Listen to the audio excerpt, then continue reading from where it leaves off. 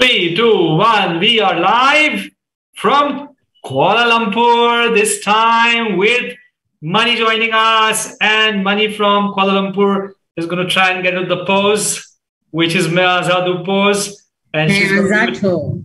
Main Azad ho. Main Azad ho. Now, the, the, the pronunciation uh, flavor which comes from somebody who's been in Kuala Lumpur for 18 years uh, it's it's it's nice for people as a different one and she's got a little little loving doggy at her hand which we can hear in the background at times making some noise. So Mani hearty welcome to the GTT interview. Main Azadu series.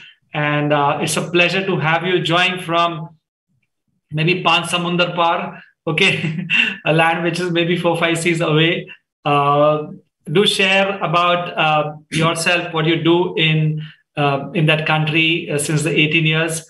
And then maybe we'll look at your reversal journey. And of course, you have cleared GTT, and that's a big thing. We'll, we'll talk about that also. So, all over to you. Please go ahead. Hi, everyone. Um, I'm uh, Manimeghali Subramaniam. I'm living in Kuala Lumpur, Malaysia. Um, I'm uh, teaching uh, in one of uh, public school here. And I'm uh, shifted to KL since I got married, and I, we've been living in KL for about uh, 18 years. And uh, my husband's family are from here, KL itself. So, um, and then uh, I got uh, two kids. The eldest is uh, Vishwaraj, and the second is a daughter. And I'm 40 years, 48 years old now. Hey, hey, what did you say? What did you say? I didn't hear that. I'm 48 years old now. Couldn't hear it. 48 years old, doctor. Look, I don't, I get, don't get to hear that last word which you said. 48, 48 years young, I understand. 48. 48 years young. Yeah, exactly. Always, huh? Yes, exactly. Good. Living so, happily yeah, she's been a part of 68 batch. Here comes Mani for everybody. Kuala Lumpur as a teacher. Uh, since 2018, you had diabetes, so not very long. Maybe some uh, Ayurvedic medicines were going on. You became free in May. Okay, that's nice. And uh, the interesting part is you maintained your BMI. You've never been obese. You've never been overweight. So not about 25 BMI not about 30 BMI. You have been a fit BMI all along, 23. And I think that's an inspiration for many, many people because what stories they get to hear many a times, oh, I lost 10 kgs, I lost 20 kgs, I lost 30 kgs, and here I'm free. And here is somebody who's saying, I have been there all along at 23 BMI, maintained the BMI, and still not only have been free, I've cleared GTT. So um, your fastings have come down to almost 5.5. So if you multiply it by 18, which is what in India we do, um, it comes to around 99 or so, 90 to 99, um, whatever, uh, uh, milligram per deciliter. And HbA1c is down to 5.8, which is excellent Mani. So share, how did you manage not to lose weight and still to become free and still clear GTT? Because many people who are on the thinner side they they feel you know is this the story only of people who are overweight who reverse? Uh, and that's not the case in, in, with you. So tell us the secrets what happened? I did lost uh, some weight doctor.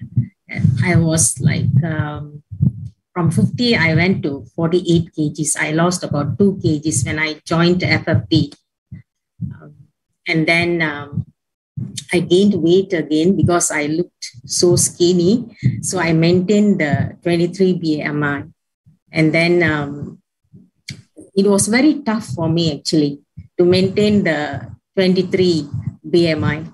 Food, exercise, and then the mental uh, management, everything has to come together for me to accept all this kind of uh, protocols and maintain everything I mean, definitely the 23 BMI. It was so very tough.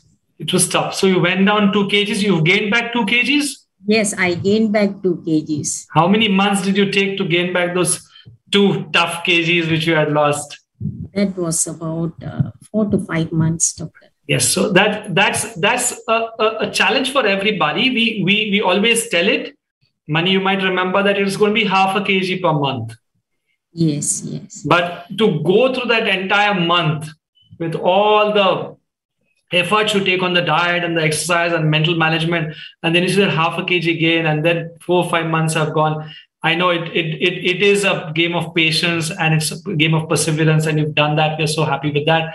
My question with that is: Has there been a shift in the fat versus muscle percentage in terms of the weight gain that has happened, or you feel it's similar? It's a muscle gain, doctor. It's a muscle gain. Yes, it's a muscle gain that's what it, uh, it was about uh, four months period for me to gain uh, the two kgs. It, it, was very difficult for me. And uh, I have a chick at the moment now. What have you had? Chick, chick, the chicks. Huh? The chicks. Yeah. Last time it was like uh, a bit uh, flattened a bit. Now I have. Okay. The cheeks have kind of come up a bit and you're feeling good about that. Yes, yes, definitely, doctor. Yeah, yeah. For a lady, hair and face and overall appearance, and for whether it's lady or or a gentleman, for everyone, I think we all need to be aesthetically looking great and feeling great about our bodies. And I'm glad that you you could do it. So, uh, in your exercise front, um, what has happened? Are you doing weights? Are you doing um, what uh, more, which has helped to gain the weight? Are you doing Surya Namaskaras? What's your athletic uh, identity if you identified it and what kind of exercise have been going on i've been uh, doing my exercises uh, like schedules uh, four days uh, i go for walking for about 5000 to 7000 steps and then the rest of the days uh, i'll go for um, what is that uh, the muscle building exercises uh, normally, I use uh, dumbbells, 2.5 kg dumbbells. Okay. Um, it was very tough for me at the beginning to use the 2.5, but I somehow I managed. I increased the uh, what what we call the uh, from five to ten, and then from ten to twelve, and then I repeat first, and then I repeated second, and then I repeated for the third time so it, it took for me time, but I managed and I could. Uh, uh, after that, I did some uh, yoga, this uh, Surya Namaskaram, and all the uh, other postures as well. And I did all this came together, doctor, actually. so, did you pick up dumbbells for the first time in the program, or you've done it before? First time in the program. Okay. You're a teacher, right? Yes. So how how do your students receive you? Because you've got this energy and aura of peace and you know you know kind of composure and the rate of words with which you're speaking right now and coming across so i'm just getting curious how do your students receive you actually when the school reopened they were surprised to see me doctor. That's the word. They they were surprised um, with my attire and then uh, physically the change of uh, physical and then the face and they really loved it. Uh, whenever i walk into the school everyone in the school will be watching me. Wow. yes. W- what a change uh, what is this and all this kind of many of them i inspired many of them wow so, so you got a lot of compliments for all the good work that you've done. Yes, doctor, definitely. And I, I, still connect with the number of times you use the word difficult. I think five times maybe you use the word. So, all those who are watching, please note uh, reversal. There is effort involved in it. There is discipline. There's perseverance. There's patience. There is balancing. There's integrating diet, exercise, inner transformation, all of that.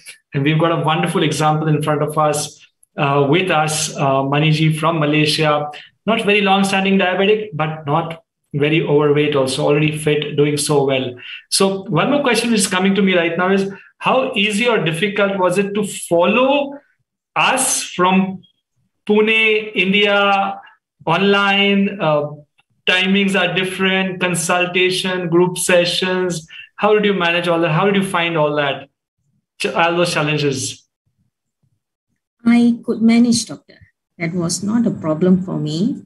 Okay. And um, just a difference of two and a two and a half hours, I guess. And um, the morning uh, meditation, the morning meditation, the, that will be the problem for me. I'll be here will be like 7.30 in the morning, but then I managed to wake up earlier than India timing. So I managed that. And the other um, like office hours, definitely uh, my doctor, my dietitian, my uh, exercise expert, my mentor, everyone I contact, uh, get connected with them, uh, the office hours time, India timing. Yes. So it worked, worked comfortably for you with, with a little bit of awareness and adjustment. Very yes. nice. Very nice. So what's, what's the message you want to give it to everyone who live overseas or are like you? I think there's a huge crowd out there between 40s and 55s around menopause or ladies who may not be overweight. Some of them may be overweight and they're struggling with diabetes and want to become healthy and free. What's your message to all those wonderful ladies? I would say give a try. Give a try that uh, we definitely can achieve good health if we give a try. Believe in yourself that's what I would say. Um, and then uh, my family, they have a history of diabetic. I wanted to break the barrier actually, and I and I did it. That's what I wanted to do. I really feel happy for this. I hope everyone will, you know, they will have uh, courage to reverse the diabetic it's much needed. It's much needed. We've got some wonderful souls from Malaysia, from Hong Kong, from Singapore who have joined, who've passed glucose tolerance test. Many from Australia, New Zealand also now, and of course, US has been the, the biggest uh, number um, who've been following. Middle East has been there. Europe has been there. So it's it's it's a delight for us also here from India to be able to serve our own brothers, sisters across the world and uh, offer a nice year long, playful, enjoyable journey uh, on all fronts diet and exercise and meditation and inner transformation. So great. Thank you very much for trusting us and joining in and being a part of the 68 batch and kind of making such wonderful progress.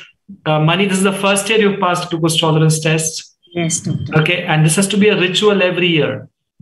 Okay it has to be a ritual everywhere you you kind of keep enjoying the process. Those who those who pass gtt we urge this. Okay never get overconfident. Okay uh, keep yourself fit. Keep certain basics going. The warning sign is 3 kg weight gain for those who've lost weight so if you become from 50 to 53 54 then you need to be alert whether it's going too much if you go from 50 to 47 again not good so those kind of ranges you keep and uh, keep going on and on, keep learning and keep inspiring. And we are very happy that you've inspired so many people. Keep keep spreading the word of good health to as many people as you can. So big thanks, Maniji. And it's such a pleasure to have you have a nice soft May Azad with you. Yay. May Azad too. So nice. Thank you. Thank you. Thank you very much. Most welcome. Bye. Bye. Take care.